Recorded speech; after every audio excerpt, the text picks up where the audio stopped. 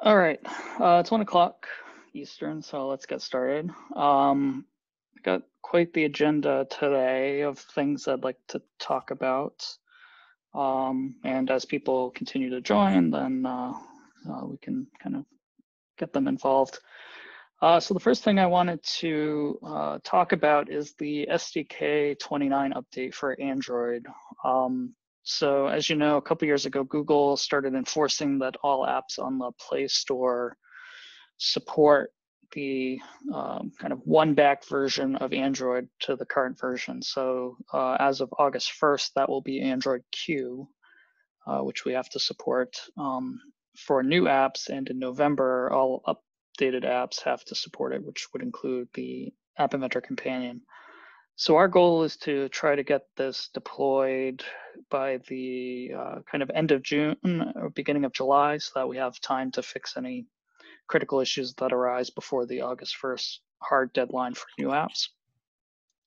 Um, and as part of this, there's going to be a really sort of big change in App Inventor in the sense that uh, Android also now uses this new system called Android X instead of the old Android support libraries. Um, and that means, of course, that uh, we have to do a bunch of testing related to updating all the libraries to this new system versus the old system. Uh, the other challenge that this brings up as well is that um, any extensions that relied on functionality in the old Android support libraries uh, need to be migrated. And there's this tool called well, extension developers can do that themselves, but for apps where people aren't necessarily updating their extensions uh, to be in sync with whatever the latest version is, uh, there's a tool that uh, the, um, the Android community provides called Jetifier, which sort of rewrites the class files to use the new APIs instead of the old APIs. And so we're, we're gonna we're going to be using this as a shim to sort of deal with the fact that uh, it may not be the case that every extension gets updated right away. Uh, but the goal here is to try to make sure we're not breaking uh, any existing apps um, in a way that would adversely affect users.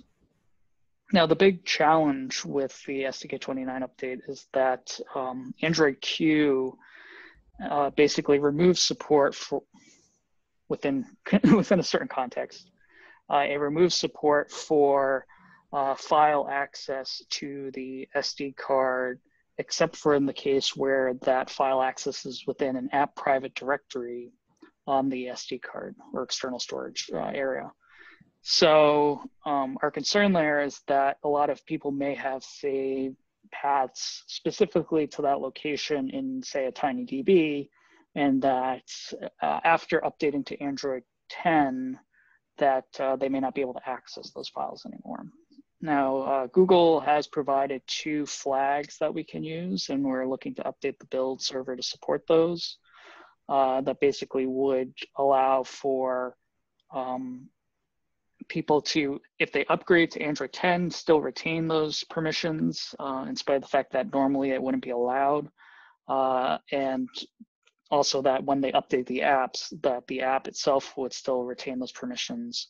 Uh, however, once you uninstall and then reinstall the app, all that um, all that information is lost. So um, the goal here is we're going to try to design and update the uh, media util and file util APIs, which is primarily where most of the file access is routed through to um, to compensate for this and try to do it in a sane enough way that it shouldn't break any apps. Um, but uh, as always, we really would appreciate the community's help uh, in testing that once we get to the stage where we are ready to deploy it to AI2 test. Um, is Pavi on the call?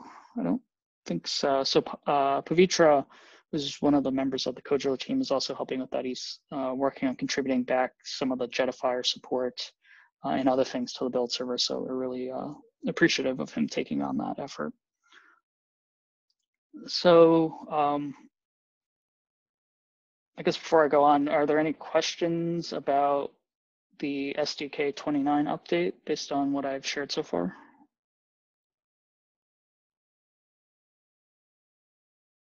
Okay. Uh, so the next thing I wanted to cover, which is obviously a big one in the community uh, and still an ongoing question, is uh, iOS support. Um, so just as a status update, uh, we're in the process of implementing dictionary support for the iOS companion. Uh, and so hopefully that will be going in uh, either this week or next week. Uh, and then we're going to push out a new beta version to test flight, uh, as well as submit uh, companion for App Store review. Now, we don't know how long it's going to take for us to get through the App Store review process. Um, my understanding is that we may need to make substantial changes to how the companion works uh, based on the reviewer's feedback. And of course, that's not optional. So um, as we continue to uh, get information about what changes we need to make, uh, we'll be uh, putting out further beta testing releases. And there may, like I said, if there need to be significant changes, then we will try to kind of keep the community up to date about what's going on there. And then I've also been sort of dabbling with uh, the build system for iOS.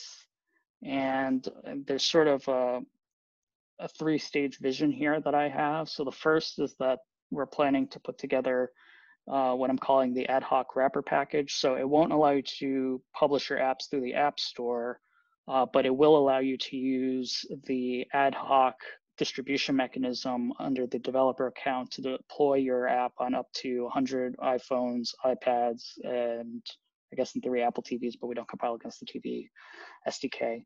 Um, but this way, people can start distributing apps on the small scale to end users, uh, and it will be a way for us to further get information and feedback about uh, when the uh, the AI component kit works and where it doesn't work, and uh, what adjustments we need to make uh, for future rollout.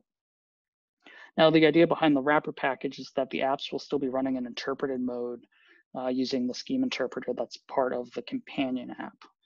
Um, the second stage is to actually move towards compiling those apps by taking the scheme code and outputting LLVM bytecode, which then would go through the standard app compilation process uh, to generate the app uh, file that is packaged into the bundle. Um, so that's a that's a bigger process because it actually involves doing a lot more work within the ecosystem of the Apple toolchain. Uh, and since that's a constantly moving environment, um, you know, it may be difficult for us to keep up with that, but we're going to see what we can do. Uh, and then the last stage will be App Store compiled packages. Um, now, the challenge here, as far as I've been able to work out, is that Apple really only provides APIs for updating apps through Xcode. Um, and that usually means logging in with a username and password. I'm looking for ways that maybe we can not deal with that because I don't want people having to reveal their credentials for their Apple logins to MIT in any way.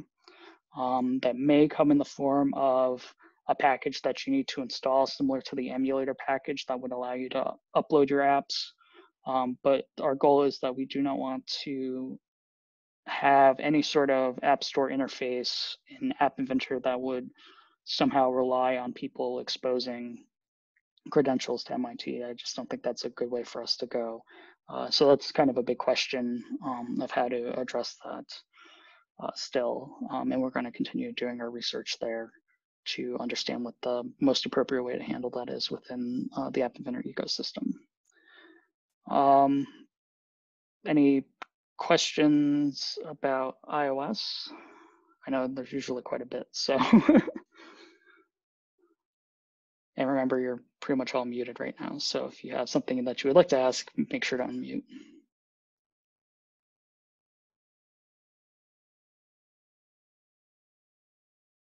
No? Okay. Um, so the next topic was also kind of a big one, um, mainly because it's been a while since we've done it, but there's a Blockly update that we're working on. I was in charge of managing the last Blockly update, which was done in May of 2017. Uh, so it's getting a little bit long in the tooth at this point. And uh, I've asked Lee to, uh, who's the newest member of our dev team, to lead that effort. And I thought I saw Lee jump on here, but uh, but basically uh, the goal is to bring in the latest version of Blockly with all of the features and enhancements that it provides. So some feature requests that we've gotten in the past include uh, the ability to add comments to the workspace that are separate from block level comments for documenting code. Um, and then there's a new Fields API, which I think Becca did quite a bit of work on. And uh, so that will give us more opportunities to maybe have uh, new types of blocks in App Inventor, which will be really exciting. And then there's also a new rendering pipeline, which is actually going to be probably the bulk of the work of doing our merge, because uh, we've uh, there are features in App Inventor that manipulate the rendering um, system that's currently in the version of Blockly we have, and that all needs to be ported to the new version. Uh, but the sort of expectation here is that it will provide us more flexibility going forward. And Blockly itself is going to be moving to a plugin based API. And um, that means that potentially a lot of the extensions that we've built into App Inventor on top of Blockly may become plugins in the larger Blockly ecosystem, such as the, the backpack, for example. So um, that is another sort of involved project. Of course, it's all on the, um, the web browser side, which means that uh, ideally it should be a little bit more straightforward than dealing with um, the Google and Apple Play stores. Uh, but there are always a bunch of corner cases that are difficult for us to find. Um, so Lee, did you have anything you would like to also contribute around the work you've been doing on the Blockly update? Uh, not really. So on the problems we saw yesterday and then has been have been fixed, but there are some new problems. It's like the touch gesture, things like that. I see things that I don't like, and I'm still debugging to see if I can fix it. So you talked that the Google switch to gesture because people are using like mobile phones to create apps or things like that? Uh, yes, so more specifically, um, this is an announcement that Blockly, the Blockly team made uh, in October of last year. So mm-hmm. there used to be uh, three different versions of Blockly. There was essentially the web version of Blockly, then there was an Android and an iOS version. And uh, what they decided to do was basically uh, cancel the Android and iOS specific implementations and opt to use a web view instead. Um, and so they have this touch gesture support to kind of compensate for that. Um, there's uh, a version of it in our current sources. Um, there's been a ton of work done on it in the last three years, obviously. And um, so I know I have done demos in the past of uh, App Inventor on an iPad, for example, mm-hmm. and um, it sort of works, but there are some bugs, and I think there's still an open issue around uh, once you do certain operations. I think with mutators, uh, eventually the entire page just seems to stop responding because it gets into some inconsistent state. Um, so there will be testing that we'll need to do on, but as far as I'm aware, I think you know 95% of our users are using App Inventor, the web the web editor on a, a laptop okay. or desktop. Um, oh, okay. There are some who are doing it on mobile, uh, but it's not a large percentage. So, but it'd be nice to get that working. Okay, so basically, it's still like a mouse and keyboard. Yeah, primarily. I mean, it may be possible. Uh, I know there are some Chromebook models that have touch screens. Um, so, and uh, certainly there are Windows laptops as well. Um, but in, I think in most cases, those actually simulate um, simulate the, the touch events as mouse events. So it, it might be hmm. okay. okay. Um, but yeah. All yeah, right. Does anyone? I think mm. it's uh, right now it's just extensive testing. Yes. Yeah. And so, as part of that as well, uh, one of the things I've been working on, um, and also thanks to Becca for doing a little bit of the legwork on this at the beginning. Uh, I have now a version of App Inventor where when we run the unit tests for the Blockly editor module, it actually produces code coverage information so we can mm-hmm. get a sense of how much of the code is actually being executed when we do unit tests and make sure that as we write regression tests uh, and these uh, other types of unit tests that we actually are can be fairly confident that the parts of the system that are critical are, ex- are being exercised in some way uh, obviously, it doesn't replace you know visual inspection and testing of the behaviors um, as they appear on the browser, but it can help us be more confident as we do these larger changes, especially with every Blockly update. We want to be able to catch broken behavior earlier in the development cycle rather than publishing a production version and finding out a week later that something was broken due yeah. to some corner case that we hadn't previously captured. So, so um, look for that uh, in the coming weeks as well. Mm-hmm. Uh, so then the last uh, well, actually, there are two things I guess that I'd like to also cover. Um, Mark, do you want to maybe share a little bit about the work you've been doing on the undo and redo support? Uh, sure.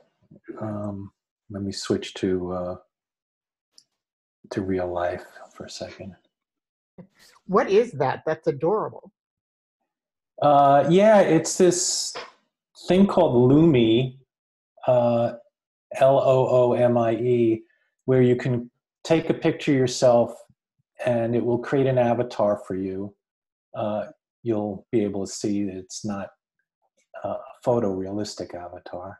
Um, and then they have an app that runs on your laptop or desktop or whatever that uh, listens to your voice and then moves the lips of the avatar. It also does some things like, you know, it makes the avatar kind of nod and do the other things to make it look like uh, uh, like I'm paying attention. But it's kind of cool. Fantastic. All right. Yeah, I was thinking maybe it was actually those gestures with your hand going to your chin were things you were actually doing. No? Yeah, that'd be cool if it did that kind of thing. But on the other hand, they also advertise that it's a way for you to like to do other things and look away and make it appear like you're still paying attention. So but that could be a mode that they could turn on and off. Uh, but the uh, the moving of the lips is pretty impressive. They're kind of keeping track of what I'm saying, and it's it's reasonably decent. I can but, see it, though it's not quite convincing. And this is a complete tangent, so please, like, actually talk yeah, about yeah. what you were going to talk about. Okay, yeah, and I'm going to switch back so it's less, uh, maybe less distracting, but maybe less interesting. Uh, so this is the real me.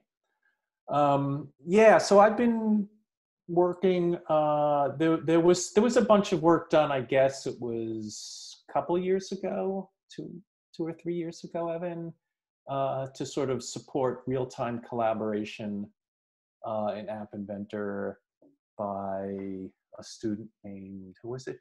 Xinwei Xinwei Deng yeah. Xinwei Deng. Um, and uh, and there's a there, there's a version, there's a branch of a branch of a branch which supports that and it runs somewhere. Um, but uh, it, although it seems to support the real-time collaboration fairly well, uh, its event model is not quite good enough to support things like undo and to, to help uh, do some sort of larger scale conflict resolution with in in real time collaboration. Do I have that right, Evan? Yeah, um, that's that's about right. Yeah, and so so I've been doing some work to try and bring that stuff up to date and uh, advance it a little bit so that uh, so that we could support undo uh, and that better conflict resolution. And I've gotten about I don't know maybe eighty percent of the way there. I kind of have the framework for making that work right and i can do undo and redo of um, uh, component moves and property changes um, there still needs to be added uh, support for deletion and creation events uh, but once that's done then we should be able to well and then if we can get that merged back into um, the the real live uh, master, uh, yeah. which which I guess will be somewhat challenging. Uh, but once that's all done, then we should be able to have undo and redo, and also be able to improve the real time collaboration support. Uh, I guess the the long term goal is to be able to support both of those things in you know in real life full App Inventor, uh, assuming we can deal with the sort of scalability issues, especially in the real-time collaboration support. So that's what I've been doing. Yeah, thanks, Mark. Yes, Sure. and uh, along with undo and redo uh, capabilities, uh, another sort of editing feature that um, is in the, the pipeline uh, right now is um, I implemented support for cut, copy, and paste operations in the design view. Um, for those of you who've been playing with App Inventor for a while, of course, you know that uh, the blocks editor, when we did the last Blockly update, added support for undo, redo, and cut, copy, and paste. Um, and so this will kind of bring the designer piece of it in sync with that functionality. So uh, between the cut, copy, and paste support plus Mark's undo and redo support, uh, we'll have um, much more sophisticated editing capabilities within the App Inventor user interface, which will be really good. Uh, and then the last uh, topic that I just wanted to officially kind of go over is Google Summer of Code. So um, Google announced the um, the students and the projects on Monday, um, 2 p.m. Eastern time, and a number of the students are here. So congratulations, all of yeah, you. this is our biggest team, and it's great, and we are really, really excited about it. Yeah, so Susan Susan has been um, the person in charge of administering all of the Google Summer of Code stuff. So you'll get lots of messages from her over the next couple months. yes. Uh, um, but I just wanted for the students who are on, um, if you'd like to maybe just give a brief introduction of yourselves and the project you're working on. You know, doesn't have to be more Yeah, than a if- minute. And if, and if you don't mind, could you turn on your camera for a sec so we can see, see you speaking and see what you look like? yes. Yeah, so I'm just gonna go in alphabetical order. So Becca, you're first. Okay, let me figure out how to. There we go. Video. Uh, hi, Hi. I'm Becca. Hi. Um, I'm going to be working on the blocks editor portion of App Inventor to try and add um, drop down blocks to certain properties of components so that it's uh, currently you have to like drag out numbers and uh, put in constants for like uh, alignment and things like that. So we want to try and make that easier for users. Terrific. Thank you. All right, and uh, next is Diego. Yeah, thought I saw Diego on the call earlier. Oh, Yeah, there he is. hey. Uh, your audio is Diego. Diego, your audio is not on.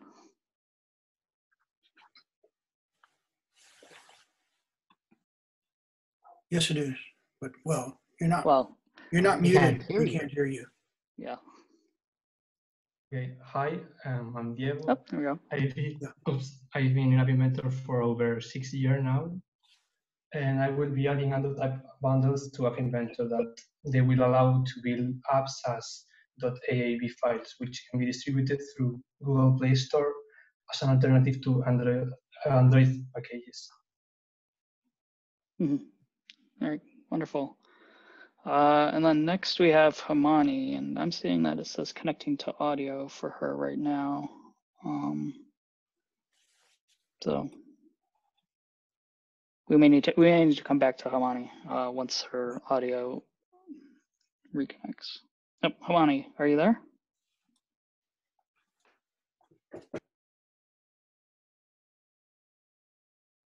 Hmm, okay. Um, we'll try we'll try her again. Is Pavi on the call? Yeah, Pavitra.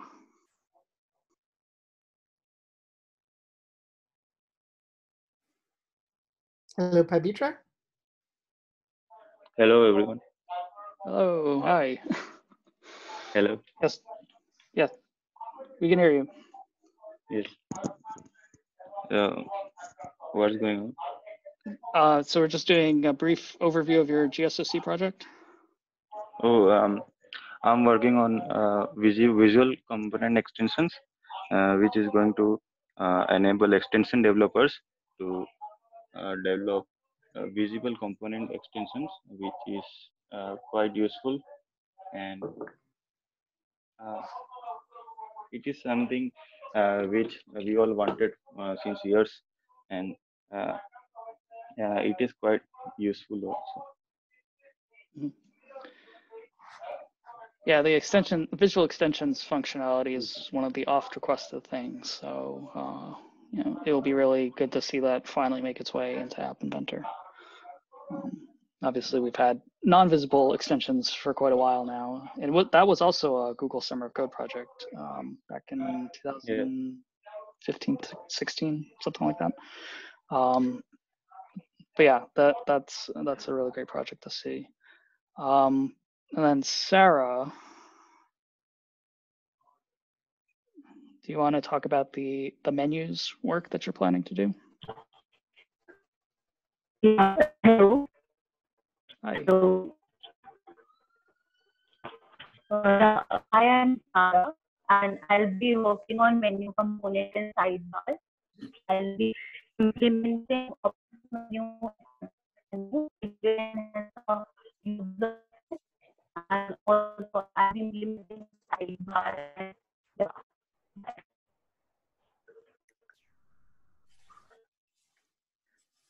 so the audio there was a, at least on my end, was a little bit jumbled up. Um, but just to kind of summarize uh, Sarah's project, um, so there's a, a, number of features that have kind of come into the Android sphere in the uh, the last you know five years or so, including um, the floating action button, which can provide sort of in-context menus.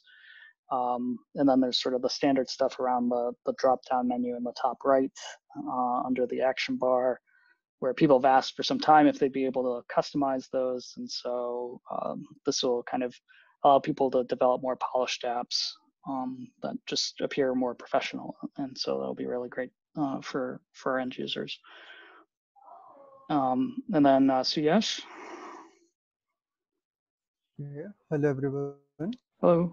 Uh, so, so I'll be working on uh, tab arrangement. I'll be adding a new component Uh, tab arrangement. So uh, currently it can be implemented with uh, horizontal arrangement and a few buttons and uh, some functionality like uh, when we click a button, other, other buttons can get faded out. So we can implement that like that, but I'll be I'll be using the core Android feature, the the tab arrangement, the tab layout provided by the Android. So yeah, I'll be adding that uh, tab arrangement. Great. Um, and then I've seen Hamani coming and going. Hamani, are you there? Oh, she must be having some network challenges. That's all right. Um, uh, but Hamani's project, she is going to be implementing uh, theme preview design. Um, so as you all know, oh, well, Hamani, are you there?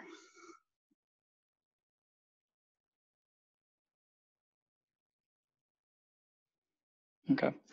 Um, so, so she's implementing theme preview design. Um, you know, especially now that we have the iOS version, uh, hopefully uh, coming out soon.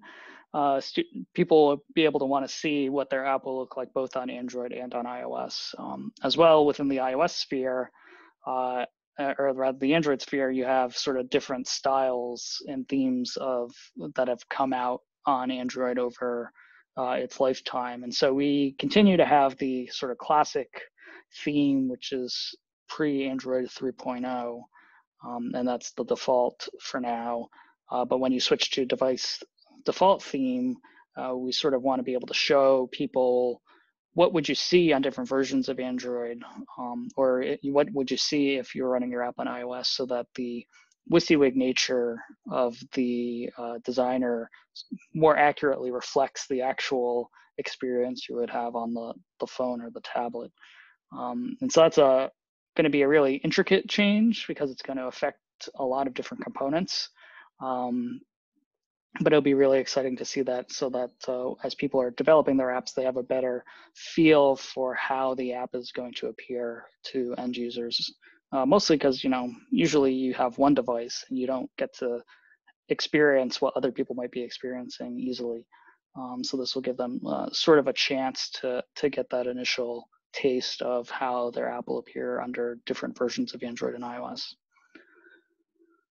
Um, so that's sort of the end of the formal agenda of things that I was planning to present today. Um, at this point, if anybody has any general business of things they'd like to discuss or questions for me or the rest of the development team, um, you know, we're happy to to take them now um, or um, anything, uh, any advice maybe for those of you who are just starting off on Google Summer of Code. Uh, if you have questions about the process, uh, we're happy to answer those now. Um, I was wondering about the timeline for the Blockly update. Like, do you guys have an estimate or are you still sort of like feeling out how long you think it's going to take? Lee, do you want to take that first? Um, I think if we want to, we can upload we can upload the pull request right now, so people can work on it. I think it basically the basic function is working right now. The left, I think what's left is uh, testing and then fix the issue doing you know another call. Okay. That's awesome. I'm just really excited about it, so that's why I was wondering. Yeah. Yeah, yeah. I mean, the big thing is, um, you know, there's a lot of work that's been done on core over the past couple of years, and so just kind of bringing things more into sync so that we can have discussions with the broader Blockly community and not feel like we're really out of date.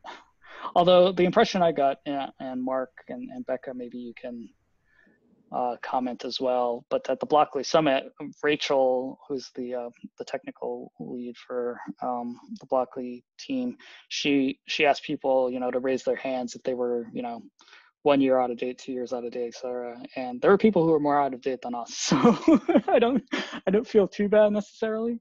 Um, but it's a big ask, especially due to all the modifications that we make to Blockly in particular to support uh, functionality with an app inventor and also because of sort of the storied history between uh, Blockly and App Inventor itself. So um, I guess for those of you who don't know that, uh, Blockly was originally being developed internally at Google to be the blocks editor for Google App Inventor. And then when Google App Inventor was shut down, uh, Neil, who's the person who started uh, Blockly, he worked on it basically took vacation to work on it to get it to the point where it was a standalone product, uh, not tied to App Inventor at all. Um, and then App Inventor was basically the first major project to use it when it was at uh, when after App Inventor came to MIT. So, um, and then we also have a number of people. Uh, Lyn, for example, who has contributed a number of features to our blocks editor and is responsible for how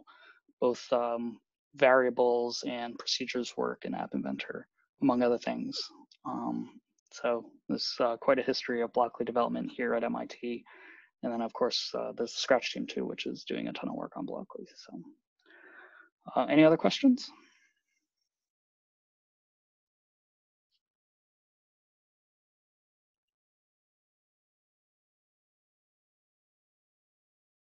Okay. Uh, well, thank you everyone for attending this online meetup uh, for Q2 of 2020. Um, we don't have a fixed date yet for the next meetup, but my sort of expectation right now is that we'll plan to do it sometime in uh, mid-August with the goal that the Google Summer of Code students will be able to give presentations of the status of their projects at their time and have an opportunity to share all the great work that they've done over the summer. So I'd really like it all if we get to see you back here uh, in August to see the projects. So thank you, everyone.